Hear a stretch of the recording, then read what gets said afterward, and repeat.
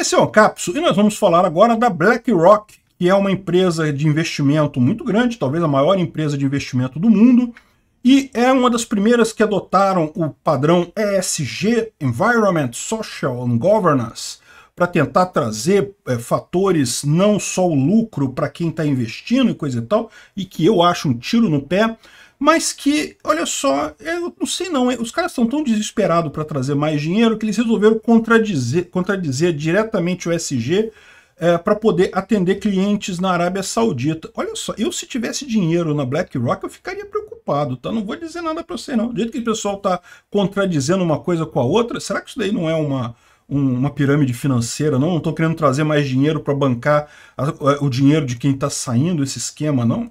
Não sei. Enfim, essa notícia foi sugerida por Felipe e várias outras pessoas. Obrigado aí ao pessoal que sugeriu a notícia. Obrigado a você que está assistindo o nosso vídeo. Se você gosta do nosso conteúdo, por favor, deixe o seu like, se inscreva aqui no canal, né? Pois bem, a BlackRock é uma empresa de investimentos. O que, que quer dizer isso? Você tem dinheiro né, pessoas muito ricas, isso é o um problema, tá? Para você que é pobre igual eu, eu também sou pobre, também sei disso, né? É, é, a gente não, dá, não imagina que existe esse tipo de problema como ter dinheiro demais, mas esse problema existe. Tem pessoas, muitas pessoas por aí que têm problemas com ter dinheiro demais, não sabe o que fazer com o dinheiro. Guardar o dinheiro no, no colchão é arriscado, vai entrar ladrão na sua casa roubar esse dinheiro, deixar o dinheiro no banco é arriscado, vão roubar seu dinheiro lá no banco, a inflação vai comer. Você manter esse dinheiro é um problema no final das contas, não é fácil não. Então essa empresa vende justamente isso. Você tem dinheiro? Bota o dinheiro com a gente aqui que a gente vai aplicar nos lugares legais e você vai ganhar um rendimentozinho e coisa e tal. E o foco deles é justamente segurança. Eles querem atender aqueles, aquelas pessoas que têm dinheiro e não tem uma preocupação de ganhar muito dinheiro a mais. Elas querem mais a segurança de manter aquele dinheiro no tempo. Né? Então, tipicamente, é, por exemplo, fundos de aposentadoria de funcionários, e isso tem muito no primeiro mundo. Né? Aqui no Brasil temos o esquema de pirâmide da, do INSS, que em tese quem nasce vai pagar a sua aposentadoria, então, mas é um, é um, grande esquema de pirâmide, né? Porque uma hora não vai ter gente suficiente para pagar a aposentadoria de quem está mais velho. Todo mundo sabe que o INSS vai quebrar um dia. Não se sabe quando que ele vai quebrar, mas que ele vai quebrar, ele vai, é certeza.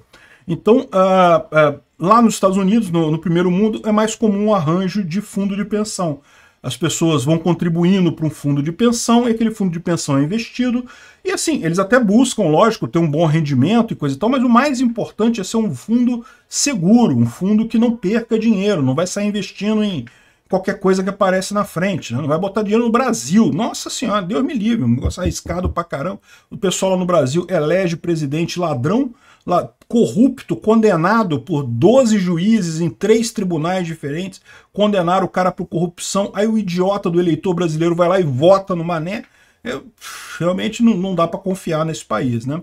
Enfim, é, esse pessoal da BlackRock, então, ele tá nesse negócio, ele pega dinheiro de pessoas que têm muito dinheiro e querem investir e não querem ter o trabalho, né? Porque você pode investir você mesmo. Aliás, muitas pessoas ricas têm a própria empresa de investimento, contrata gente lá, contrata um monte de gente para ficar acompanhando ações e coisa e tal e fazendo investimentos, né? Você sabe o caso lá do, do Warren Buffett, que tem o Berkshire Hathaway, que é, um, é o fundo de investimento do dinheiro do Warren Buffett. É ele que vai ficar investindo lá o dinheiro dele, né?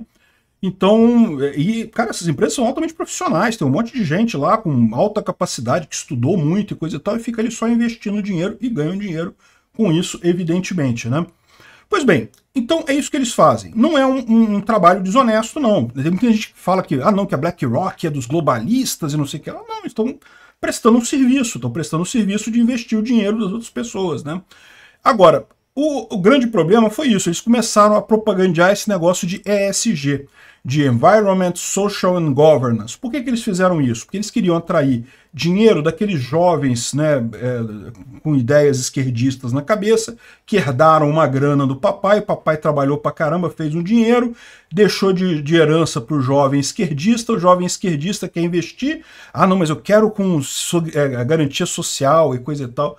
A BlackRock é uma empresa, né? Ah, a gente vai ter, tem um negócio aqui chamado ESG para você, ó, vamos vender para você, a gente vai investir o seu dinheiro, mas você vai, pode ficar com, com a consciência tranquila que está sendo investido com environment, social and governance, para garantir que não, não estamos fazendo nada de errado e coisa e tal, né, coisa e tal. Só que Está ficando cada vez mais óbvio que isso é uma peça de propaganda, porque agora eles estão fazendo, fechando o fundo da Arábia Saudita, o fundo, o fundo soberano da Arábia Saudita tem dinheiro pra caramba ali, né? E eles estão querendo levar esse dinheiro da Arábia Saudita. Só que qual que é o problema? O último lugar que tem environment, é, social e governance é a Arábia Saudita, meu amigo.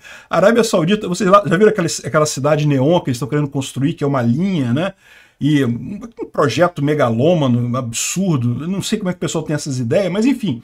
Só que, lógico, sempre tem o eremita que tinha uma casinha lá no meio da linha lá que o cara queria construir, tinha um cara lá, tinha uma tribo que né, vivia ali na região e coisa e tal, e é, você tem várias maneiras de fazer isso. Qual é a maneira correta de se fazer isso, por exemplo, na ética libertária? Você negocia com a tribo, né? Olha, queremos comprar essa terra aqui, a gente vai passar uma cidade aqui, é muito importante passar por aqui, vamos te dar um dinheirinho, Beleza, compramos, né?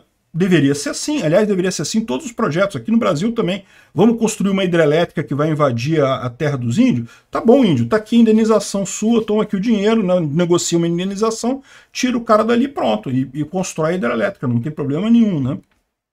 Agora, como é que se resolve aqui no Brasil? Ah, não, é proibido fazer hidrelétrica porque vai invadir a terra dos índios. Não, mas a gente negocia, a gente indeniza o índio pela terra. Não, não pode. Não pode porque o índio, ele quer a terra, ele não quer dinheiro, ele não interessa por isso. Se você perguntar para o índio, o índio quer dinheiro sim, o índio está cagando para a terra dele, quer dinheiro. Mas para a ONG ambientalista que está negociando ali, não, não pode, não sei o que lá, a obra não sai. É assim que funciona no Brasil.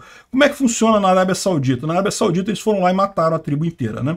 Então, é, resolve problema rapidamente, né? não precisa gastar dinheiro, muito fácil. Parece que não, não mataram a tribo inteira, não. Mataram só o cara que era o ambientalista que estava lutando pelos direitos da tribo, deram um tiro no cara e, e pronto, resolvido o problema. A tribo foi embora, não exigiu indenização, nem nada, né? Mas enfim, é, é um absurdo. Não deveria ser assim. A maneira correta é negociar com o pessoal e tirar a pessoa de lá. A Arábia Saudita não tem preocupação ambiental nenhuma. Tudo bem que eles meio que não tem um meio ambiente por lá, né? Mas também não tem é, é, preocupação social e, e, governança, não está nem aí. É uma ditadura aquilo lá, é uma, uma família imperial, uma ditadura absolutista, né? Enfim.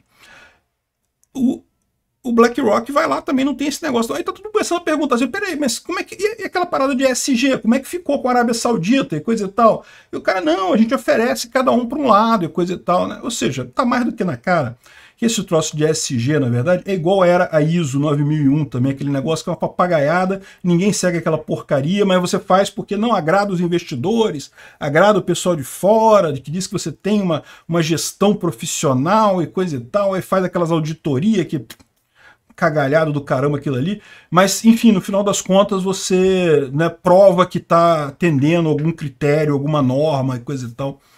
Pois é, é a mesma coisa. É, esse negócio o pessoal leva muito a sério, esse negócio da BlackRock, do SG, não é para levar, isso é só um truque de marketing. Eles só querem ganhar dinheiro em cima dos otários rico, uh, uh, esquerdista rico otário. Obrigado por assistir o vídeo até o final.